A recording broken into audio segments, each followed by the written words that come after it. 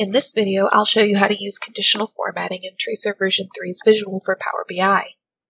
The first thing that you'll need to do is navigate to the Format Visual tab and select Data Style.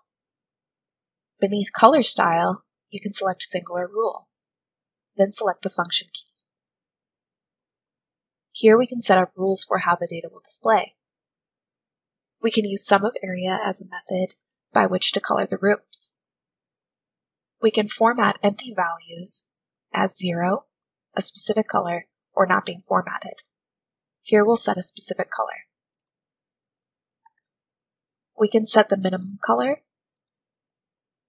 and we can even enter a value for what will be considered the minimum. This can help us control the bounds of how the data is being represented. We can also set a custom value for what will be considered the top end of the scale.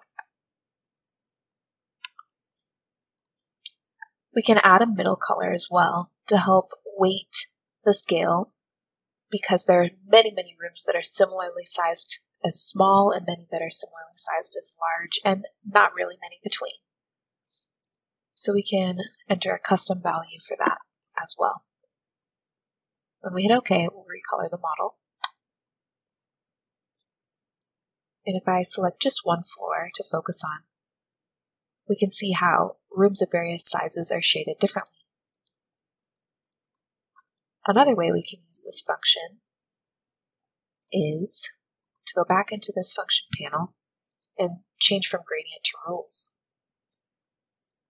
In this way, we can set up as many rules as we'd like on how the data should be colored. For example, if the value is greater than or equal to 0 and less than, let's say, 10, value in this case referring to area, then highlight the model with pink. You can see how this has now selected all of the rooms that have less than 10 square meters of area and highlighted those in pink. We could add additional rules and delete them by clicking this X below.